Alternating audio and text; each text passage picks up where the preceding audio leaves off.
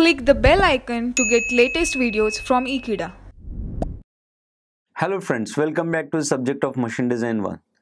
In the recent video, in the recent lecture, we have seen how the stresses or the combined stresses do act on the body and which are the formula or empirical relations that we need to use in order to solve the numerical.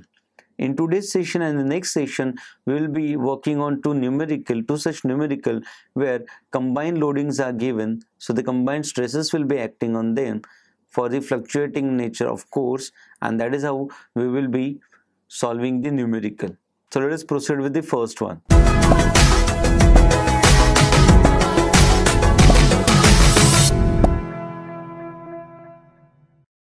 Students, you can see this numerical on the screen. Let me quickly read it out for you for the better understanding. It says that a machine component undergoes 2D stresses. They have clearly mentioned that the stresses here are 2D in nature. They have given the tensile stress in x direction that is varying from 40 to 100 Newton per millimeter square. They have given the tensile stress in y direction that is again varying from 10 to 18 Newton per millimeter square. Now it is mentioned that at same variation frequency, that means if the variation that is taking place in the basic value of 40 is 20, that means the value will become 60. The next value or the next cycle value will become 60. In that case, this will also be increased by 20 and it will become 30. So that is how the frequency of variation is happening also if this is happening in few seconds the same seconds will be utilized for the variation in this particular. So that the frequency or the phase lag will be minimum in both the cases because they will be changing or altering with the same frequency the next thing is endurance limit. The corrected value of endurance limit is given to 70 Newton per millimeter square. Students, we have already solved the numerical where the corrected value of endurance limit were considered based on different factors right correction factors to be precise and that is how the value is already given so we need not solve it again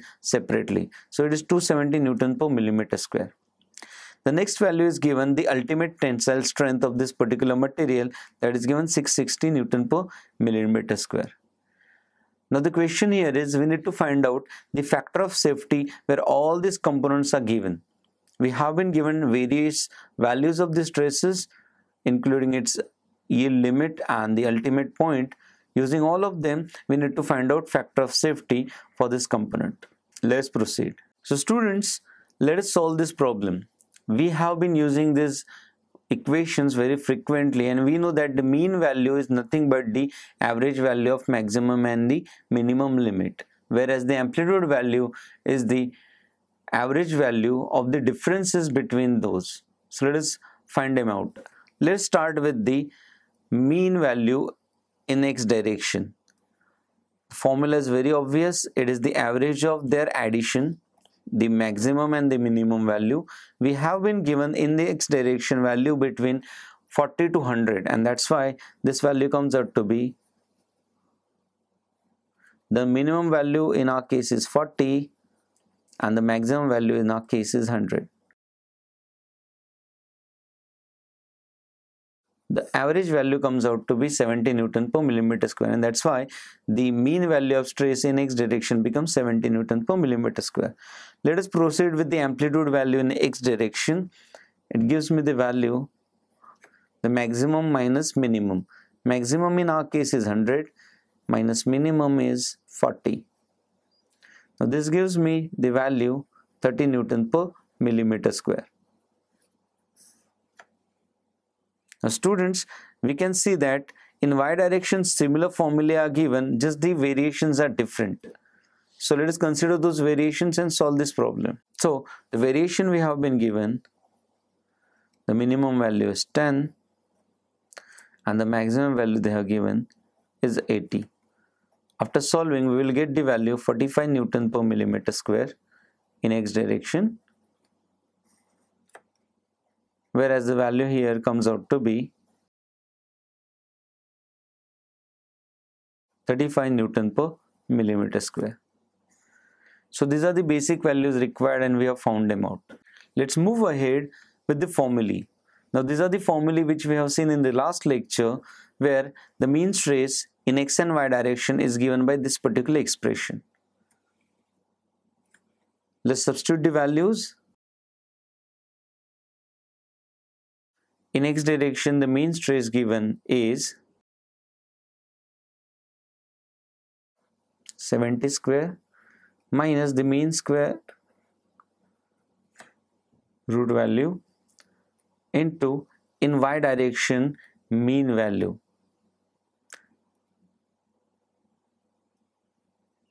The y direction mean value is 45 after solving this particular thing we will get sigma mean is equal to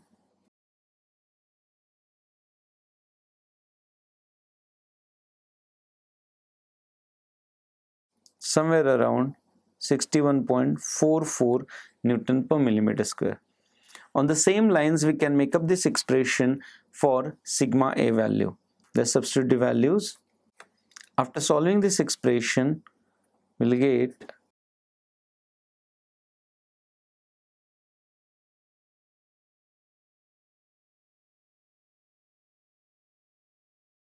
So that is how the mean value and the amplitude values are found out for this particular given expression or the problem. Let's move ahead with finding the angle of slope or the slope given by this particular expression. We know that sigma is plotted on the y-axis and sigma m is plotted on x-axis. So whenever the slope is to be found out, we can use this particular expression. Let's substitute the values. Of course it is going to be a constant proportion and there we can find out the theta. So whatever value comes for there the tan the tan inverse of that particular value gives me the theta. So in our case theta comes out to be somewhere around 28.09 degree. So that is what the slope of this particular line will be Let's move ahead and use the Goodman's criteria.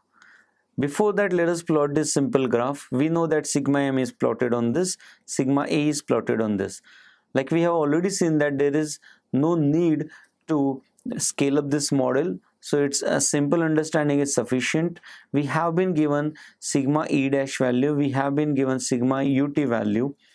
Let us draw a line which is connecting these two and there is a line at angle theta which we have recently found out. So basically this is nothing but the slope value of sigma a and sigma m. The intersection of both of them because in this particular problem both of these expressions are satisfied. So the coexisting point for both of them is the point i. So to obtain the desired values at intersection point i, let us consider and solve the following equations.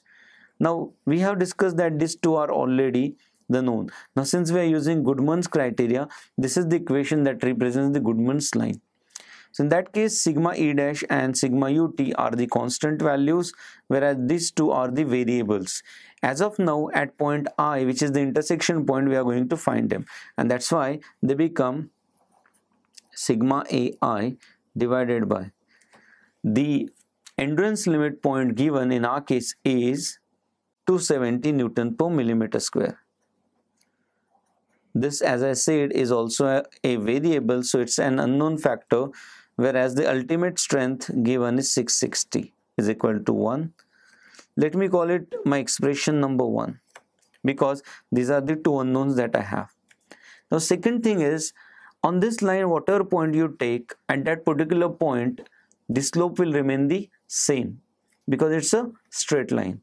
So we can definitely say that sigma a divided by sigma m which is our previous slope value has to be equal to the proportion of sigma a at point i and sigma m at point i. And that's why let's call it sigma mi and sigma ai for better understanding. And hence the ratio comes out to be tan theta. So whatever the ratio comes out tan theta is somewhere around 0.534 and let me call this expression number 2 now we have two expressions and if you see this properly both the unknowns that we have are same in both the equations. So we can solve them simultaneously. So after solving equation 1 and 2 simultaneously, we will get sigma A at I and sigma M at I. It's somewhere around 152.88 Newton per millimeter square.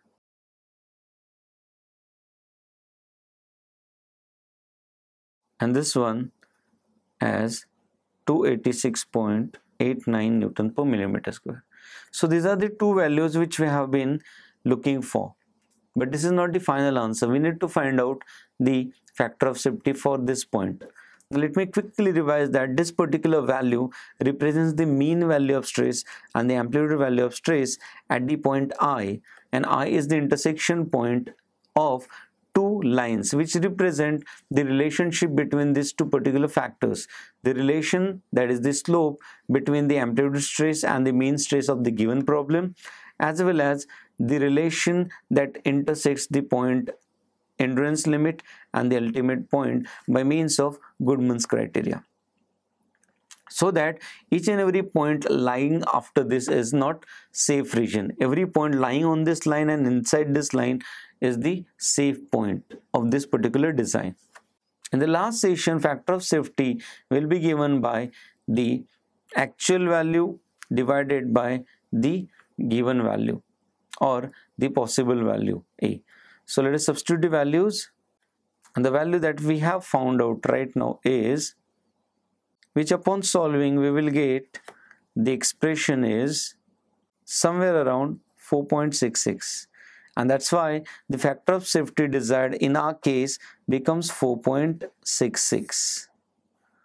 So the given factors and given values of the material properties, we have come to a conclusion that using Goodman's criteria, the value of factor of safety comes out to be 4.66 in our case. So there are problem ends in the next problem we'll be demonstrating a different method or a different approach where additional stresses like torsional shear stresses are also given and how to find out or how to incorporate the factor of safety for the safe design. Thank you so much for watching this video. If you like this video please subscribe to Ekeeda thank you